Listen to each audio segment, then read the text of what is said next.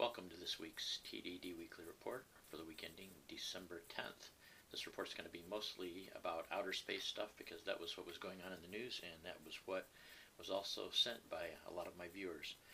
So this first one comes from NBC News. Close but no cigar SpaceX rocket lifts, lands, and then crashes. Um, it's not really a crash so much as a hard landing, and um, I'll just give you an explanation of this.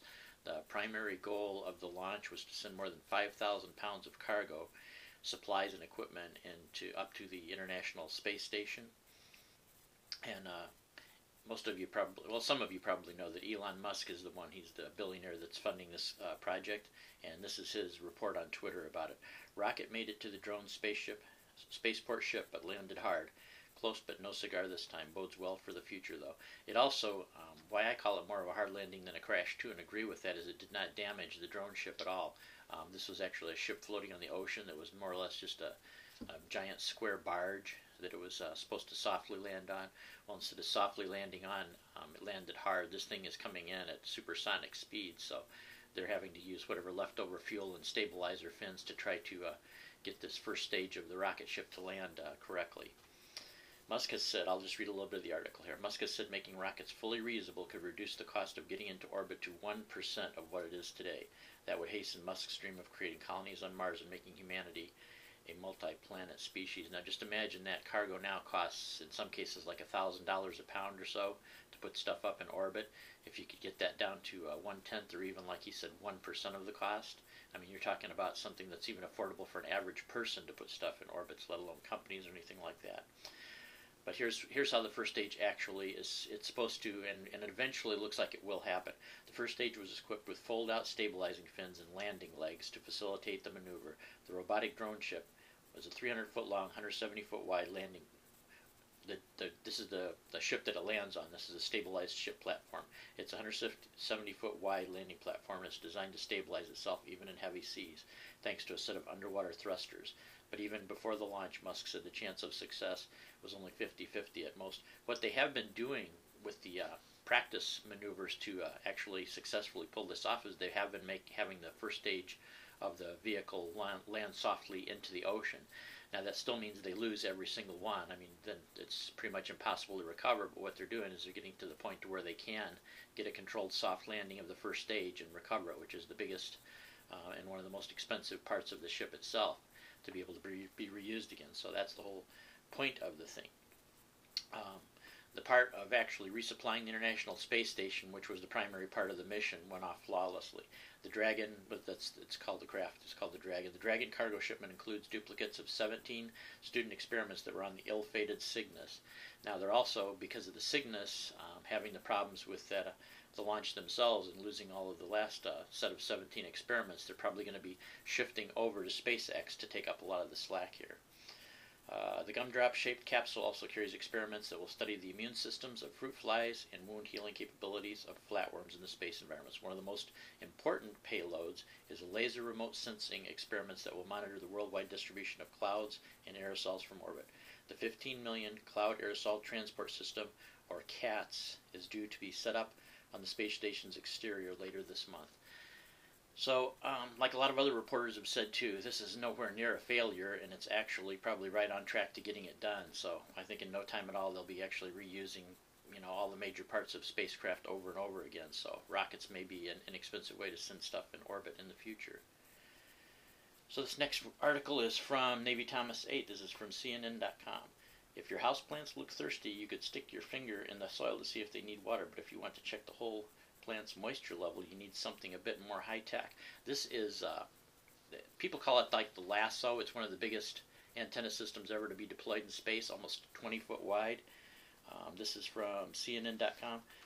NASA has just the thing. It's called the Soil Moisture Active Passive or SMAP satellite. It's currently scheduled to launch at 6:20 on uh, 6:20 a.m. on January 29th from Vandenberg Air Force Base in California.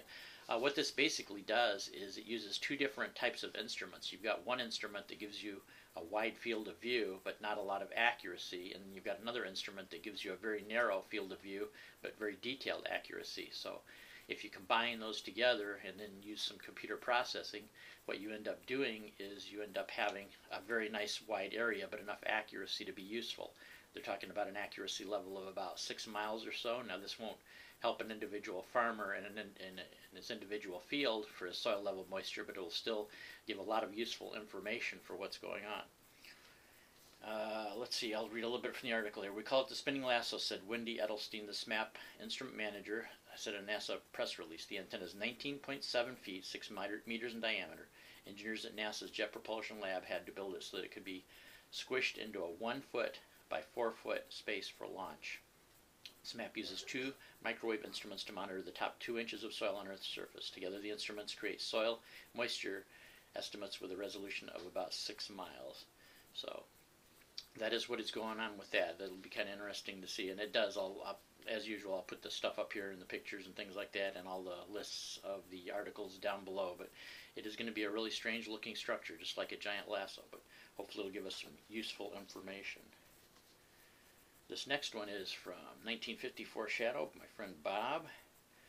Mars Opportunity suffering memory loss. NASA reveals daring plan to hack decades-old rover and cure the amnesia. This has been going on and on and on. Uh, this is not even the first time this has happened. It's got flash memory in it, so the Opportunity uh, rover right now, they've been sending commands to it, and it's been losing a lot of the commands. So what they're going to do is they're going to get a, a process underway to try to block off one of the memory, uh, one of the sections of memory, so that they can um, keep the thing going and uh, get it cured here. NASA believes that an aging flash memory is causing the bouts of amnesia, and the agency now plans to hack the rover software in an attempt to cure it.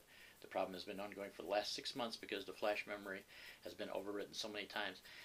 Kind of the same thing as when you have an SD card or something like that. They have a lifespan of only so much, and uh, if they have good correction in them, what they do when they get to a bad error from too much reading and writing, it just blocks it off. But um, eventually, even you know that kind of stuff can only handle so much. I mean, when it gets so old, and to me, it's kind of amazing that it's even lasted 10 years and it's still going, and they still uh, will be able to, you know, take care of this problem too, and and keep the Opportunity rover going. 10 years when it was only scheduled to have a lifespan of 90 days, I'd say we got a, a we got our money's worth.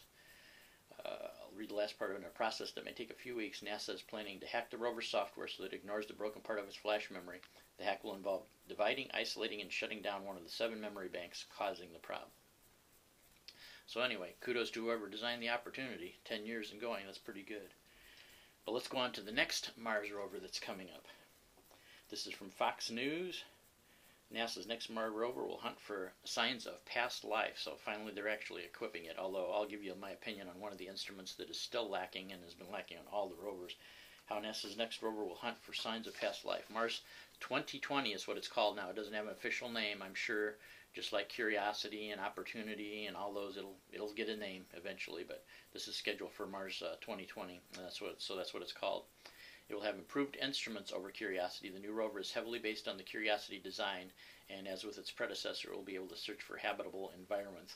Uh, one of the things they're going to do is they're going to improve the optics a lot. I guess it takes quite a bit of uh, different shots and a quite a bit of different uh, computer processing power to be able to get 3D images back from Curiosity. They can't just do it all in one take. They have to do a bunch of different uh, different views and different shots. So I guess what they're going to do is they're going to make the optical system a lot more simplistic so that they can just take uh, one shot or just maybe a few shots and really get good 3D images back, especially because of the fact they're going to need this 3D to uh, locate good areas to be able to dig and stuff like that for searching for signs of life. Uh, let's see. But Mars 2020 but also, this is again from the article, would also look directly for evidence of life, something Curiosity was not designed to do. This will make choosing a landing site crucial since it would involve finding a spot where water or volcanic activity was present in the past. These processes provide energy for microbes.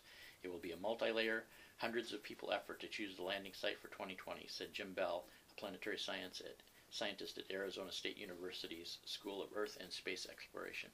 Um, they, they do a list in the article. If you'd bother to read the article, there's seven instruments. Uh, a lot of them are more advanced versions, and some are brand new types of instruments compared to what Curiosity is taking on board. But still, what I have a problem with is they still do not end up sending even the simplest little recording device to record audio sound like a microphone or amplifier or something like that. I mean, it would be little or nothing to do it, and they still, with all of the different probes, all of the different landing craft we've ever had on Mars, uh, to my knowledge, we have still never had um, one of these rovers that has had anything that can collect sound. To me, that's just I don't know. I, I still don't understand why. I've I've even tried to contact NASA and ask for a response and got no response. So, but other than that, you know, we had, we do have another go for another one at 2020.